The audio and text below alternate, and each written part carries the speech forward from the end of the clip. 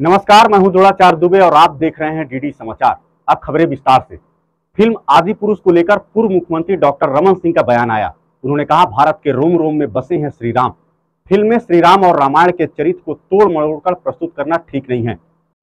छत्तीसगढ़ के पूर्व मुख्यमंत्री और भाजपा के राष्ट्रीय उपाध्यक्ष डॉक्टर रमन सिंह ने पत्रकारों से चर्चा करते हुए फ़िल्म आदि पुरुष पर अपनी राय व्यक्त की। उन्होंने इस फ़िल्म के विरोध को लेकर कहा श्री रामचंद्र जी भारत के रोम रोम में बसे हुए हैं।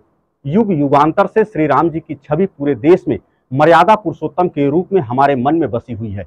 यही कारण है कि आज जब एक फ़िल्म श्री राम और रामायण के चरित्र को तोड़ मरोड़ रही है तब पूरा देश इस नकारात्मक के विरुद्ध खड़ा है। प्रतिक्रियाएँ मिल रही वहाँ पूरे छत्तीसगढ़ में ज़बरदस्त वातावरण है। जहाँ भी जा रहे हैं हर समाज के हर वर्ग अनुसूचित जाति हो जनजाति हो युवा हो महिला हो व्यापारी हो सबके मन में सरकार के प्रति नाराज़गी भाव है। ठीक है नहीं यदि सरकार ने देख लिया है फ़िल्म मैंने तो देखा नहीं है मुख्यमंत्री जी ने देख लिया है और ऐसा लगता है कि कुछ ठीक नहीं है तो निर्णय लेना चाहिए। आखिरी रामायण के राम के चरित्र और हनुमान के चरित्र और अन्य चरित्र में जिस प्रकार चर्चा और बातचीत आ रही है जिस प्रकार के डायलाग उनसे बुलवाए गए हैं मुझे लगता है ये समानता इस प्रकार आज तक हिंदुस्तान की संस्कृति में इस प्रकार के शब्दों का उपयोग जन जन में बसे हैं राम।